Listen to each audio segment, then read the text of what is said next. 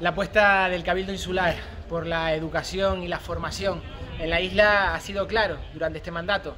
Una escuela de enfermería que es el ejemplo de toda Canarias, centros de Radio ECA para también ampliar esa oferta educativa y hoy estamos en la inauguración de lo que será la nueva sede de la UNED en los Llanos de Aridane. Una apuesta del Cabildo, una apuesta por la UNED por seguir ampliando esa formación y porque La Palma siga siendo y crezca en ser una isla de oportunidades.